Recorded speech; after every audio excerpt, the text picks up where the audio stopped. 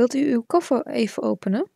Die vraag kun je nog op Schiphol verwachten wanneer je met het vliegtuig terugkomt uit het buitenland. Een dergelijke vraag was 30 jaar geleden heel gewoon wanneer je de grens met Duitsland passeerde. Dan was je verplicht de kofferbak van je auto te openen en alles aan de douane te tonen wat je had meegebracht uit het buitenland. Toen werd er nog gesmokkeld. Sinds 1 januari 1993 bestaan er geen grenzen meer in Europa en was er vrij verkeer van personen en goederen. Dat is dus alweer bijna 30 jaar geleden. Over de grens, grensstenen en spannende smokkelverhalen zijn talloze boeken verschenen. Grensbewaking, wat is dat? Wie deed dat? In een aantal afleveringen belicht TV Slingerland het werken en leven aan de grens. In Winterswijk was de inspectie invoerrechten en accijnsen gevestigd in het stationsgebouw. Onder deze inspectie vielen de centrale douanepost Dingspolo in Winterswijk en de postdouane en accijns in Winterswijk. De grens tussen grenssteen 754 in Miste en 831 bij Rekken Oldenkotten werd bewaakt door ambtenaren van de CDP Winterswijk. Ook hadden zij toezicht aan de kleine grenskantoren Oldenkotten, Zwilbrok Holterhoek, Huppel Gaksel en Wold Barlo. De grote grensovergangen Kotten-Euding en Heurne-Hemden werden bemand door ambtenaren van de postdouane en accijnsen Winterswijk. In onze reportage beperken wij ons tot het grensgebied dat dicht bij Winterswijk ligt. Zoals gezegd is het bijna 30 jaar geleden dat douaneambtenaren zichtbaar waren in en rond Winterswijk. Na de openstelling van de grenzen zijn velen vertrokken naar het westen en uiteraard zijn er inmiddels velen met pensioen. Het is dan ook lastig om nog iemand te vinden die veel kan vertellen over die periode. Wij hadden het geluk dat oud-douaneman Jan Kingma nog steeds in Winterswijk woont. Jan, wat bracht jou ertoe om bij de douane te gaan? Ja, nou, dat was, uh, ik, ik werkte uh, oorspronkelijk in, uh, op scheepswerf in, in Harlingen. Toen in militaire dienst en toen ben ik als technisch tekenaar begonnen bij een fabriek. Hoe oud was je toen? Toen was ik zo'n beetje 20 jaar. ja, dat acht, altijd achter die grote plank staan te tekenen, dat, dat beviel me niet zo. En omdat ik in de havenstad Harlingen woonde, was daar uh, een grote douanepost uh, gevestigd. Dus ik kende wel een beetje wat de douane was. Mijn buurman was bij de douane en die vertelde ook wel eens dingen.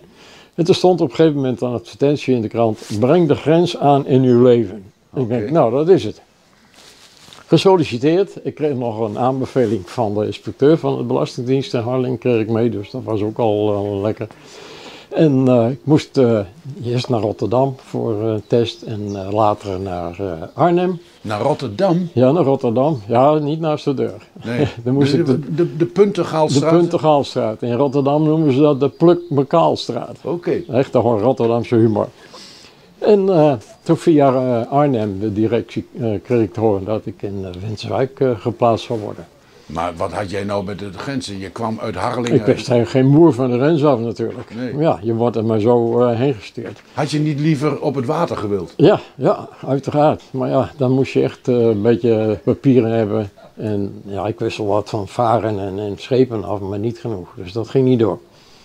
En dan uh, kom je hier in Winterswijk. viel me mee hoor. ik had gedacht een klein dorpje, maar dat viel reuze mee. Het is best wel een mooi groot dorp.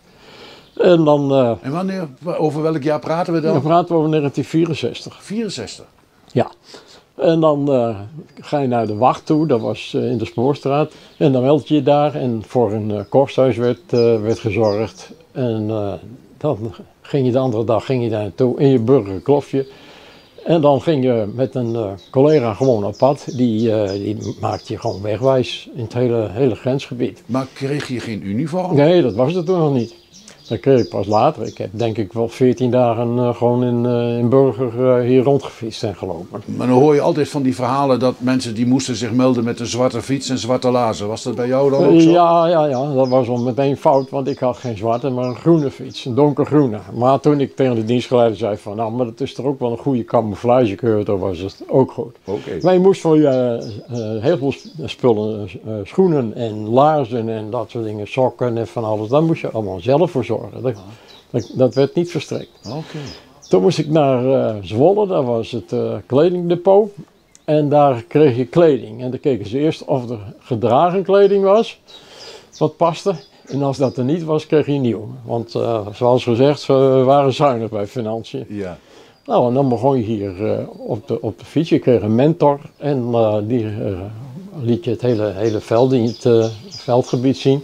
Je had vaste routes, je had verschijningspunten onderweg. En dan moest je dan vijf minuten wachten. Dan kon de dienstleider controleren of je wel op de goede route zat en of je wel op tijd was.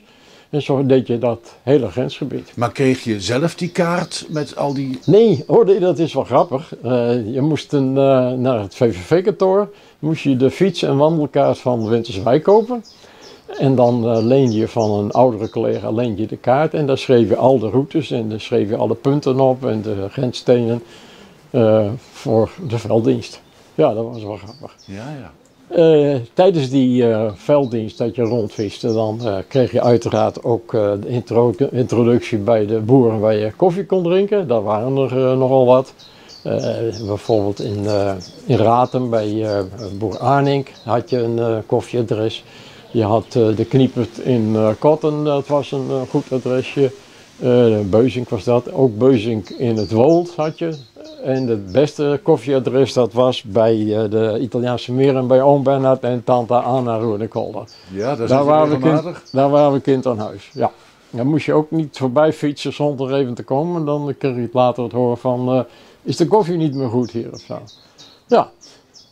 Maar was dat, waren dat ook uh, adressen waar je misschien tips kreeg of smokkelaars? Of? Ja, ja, als het uh, in, uh, in die boer zijn belang was, of dat hij er geen nadeel van uh, ondervond, dan kreeg ik ook wel tips. Dat deden ze wel. Toch wel? Ja, ja als die s'nachts wat verdacht hadden gezien, dan kregen we wel bericht van jongens, moet je even kijken daar en daar, want daar was iets bezig. Ik weet wel, ik kwam toen van school af en daar een tractor. En toen zei mijn vader zo, dan zei je moet even naar Heuper in, met Heuper. We hebben een zeemachine opbouwen. Had ik naar haar een nieuwe zeemachine gekocht en dan moest je hier de grens over. Ja.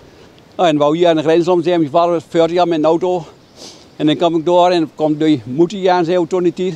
Ja, ze had een schotter om de bruntenvuur. Als die vuur aan, dan mocht ik de grens over. Dat was vrij. Dan was de kust veilig? Dat was de kust veilig. Ja? En dan was, ja, toen was ik gebroek van hem maken. Ja, ja. Ja, dat was nou echt, uh, ja. En voor mij was dat natuurlijk iets heel bijzonders. Ik zei, ja, maar ik nog vast kan zitten. Nou, zei, dan breng ik wel eten. maar, en, en in welke jaren praten we dan, jou?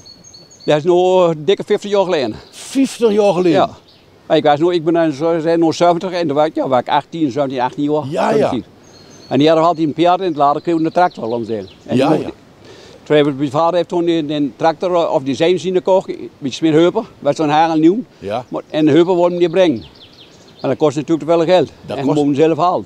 Ja, ja. En dan ging je met een trekkerbal de eerste grens overlopen, zeg maar ja, nou ga je er niet achter zitten. En toen, toen mogen je dat nog niet. Zei, nou, maar, ja. En was dat dan afgesproken hier met, met de vrouw aan de Ja, Duitse kant ja. van nou de schotvuur? Mijn vader kwam nog geel, was hier bij Blankert. Ja, ja. En dan die vrouw, ja, we zijn toen moet maar zeggen. En ja, nou, en die wilden ze natuurlijk maar helpen. Ja, ja. En ik weet niet wat ik toen verkreeg, dat, dat wou ik niet te zeggen. Nee, nee. Ik had me in een pak koffie, maar ik weet het niet. Ik merk niks goed. Nee, nee. Nee, dat was toen niet echt, uh, ja. Alfred, wir stehen hier an die Grenze unter einem Tor. Das war damals die Grenze. Aber wie war das in die Zeit in deiner Jugend? Wie war das in die Grenze hier?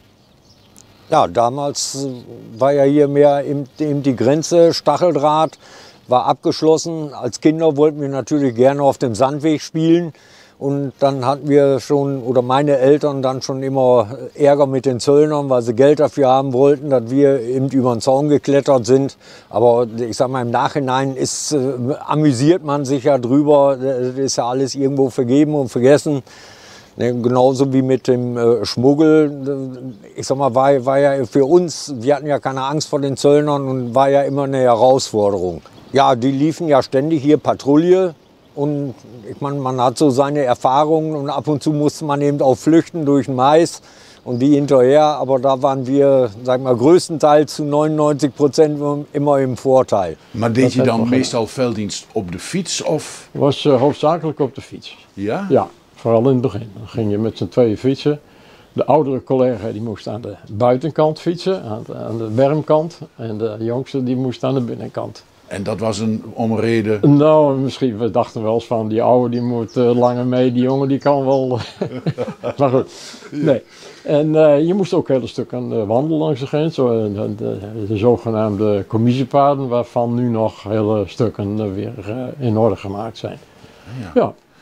En dan, dan, dan heb je dienst, op welke tijden? Nee, van allerlei tijden. Je, je, je keek in het dienstboek uh, welke, welke diensttijd je had, welke dienstvak, welke route je moest.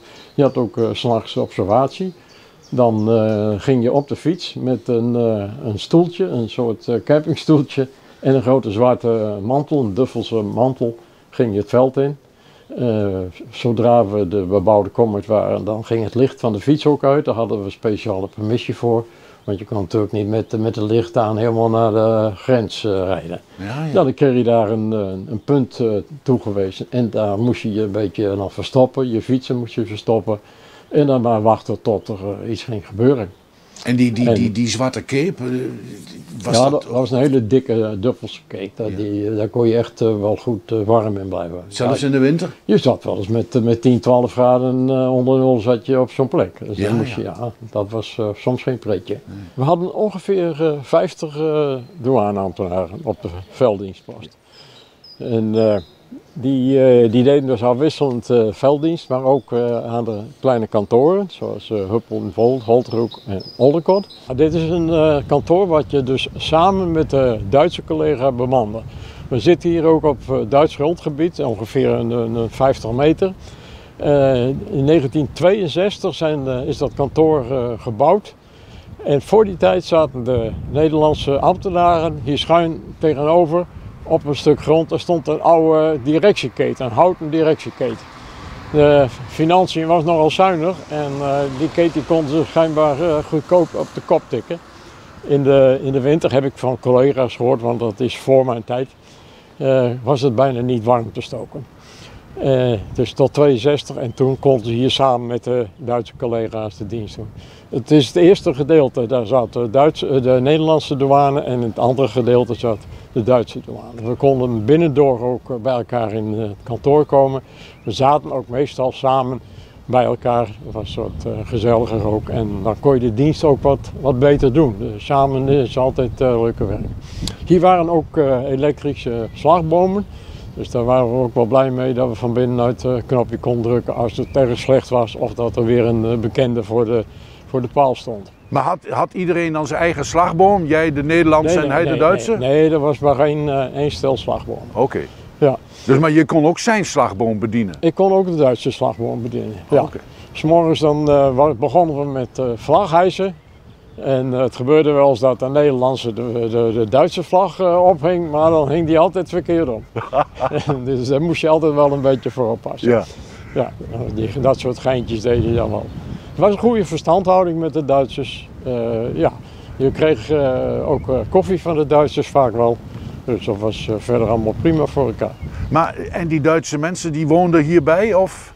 Ja, ja er woonden hier collega's, een stuk of drie als ik me goed herinner. Die woonden in hetzelfde gebouw. En er was, was ook de vaste bemanning. Hier, hier had je ook niet, ja soms wel, dat er jongens van de veld, Duitse velddienst dienst deden. Maar dat was gebeurde niet zo vaak. Nee. Maar dit is de doorgaande weg naar, Naar Bocholt. naar Bocholt. Ja. Druk? Ja, dit, hier, was, hier, had je wel, wel genoeg te doen. Het was uh, wel drukker als uh, bijvoorbeeld uh, kantoortje Huppel. Dat was wat rustiger. Hier was wel meer verkeer. Nederlandse collega's van de velddienst, kwamen die ook hier? Of? Nee, dat mocht niet. Als Dat- je velddienst had, dan mocht je niet naar het kantoor. Of je moest je, je behoefte doen, dan, dan werd dat nog wel toegestaan. Maar eh, nee, als je, als je hier zat uh, ter koffieleuten eh, binnen en de baas die kwam, dan kreeg je strafdienst. Dat was Nee, het. dat mocht absoluut niet. Wim, we staan hier nu bij grenspaal 788. Kon jij gewoon vrij over de grens lopen of hoe was dat? Wanneer je kon aantonen dat je tussen eh, bepaalde grenssteen aan de grens woonde en de, aan de andere kant eh, bouwwezen, dan kon je een pasje krijgen. Ja, ja. En mijn ouders hadden die en misschien kan ik het ook wel in krijgen, want ik had met, met de boerderij niks te maken. Ik deed heel wat anders, maar nou, ik kreeg toch zo'n pasje. Ja. En dan kon je, en werd je er ook op gecontroleerd? Zag je wel eens hier douane aan de grens staan? Jawel, ja, die andere wel.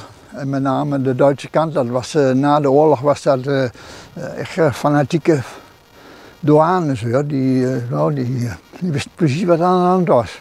Tot zover onze eerste aflevering over de verdwenen grens. Volgende keer praten wij met Jan Kingma verder over zijn werk als douane. In die tijd waar ik het over heb, dat was eh smokkel van eh jongvee, kalveren eh, en biggen. eh, maar van allerhande dingen, snaps, eh kwam er ook wel eh, de grens over. Vertelt grensbewoner Wim Bensink over de grens. Je kunt het rustig vertellen, want het is toch eh, verjaard, Wim. Ja. Ik bedoel, want ik heb Ja. het idee dat het een beetje... Ik heb nog, eh, misschien dan nog wel een, een leuk verhaaltje. En horen wij van Alfred Lefting wat er in de oorlogstijd aan de grens gebeurde. Die waren drüben in Holland, haben, haben die sich versteckt. Und äh, sag mal hier, äh, als wir noch im alten Haus gewohnt haben, haben die eine Kerze ins Fenster gestellt. So dann wussten die abends, die Luft ist rein, kein Zöllner in Sicht. Wir können eben drüber, kriegen was zu essen und äh, mussten sich dann anschließend wieder verstecken. Kijk dus volgende keer naar Verdwenen Grens.